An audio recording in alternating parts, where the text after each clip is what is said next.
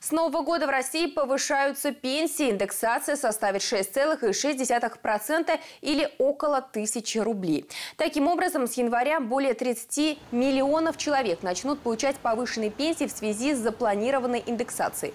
Согласно ранее представленным материалам, в России средний размер пенсии в следующем году составит 15 тысяч рублей. А средний размер страховых пенсий по старости для неработающих составит 16 400 рублей. В федеральном правительстве ранее заявили, что в 2020 году страховые пенсии будут проиндексированы на 6,6%, социальные на 7%.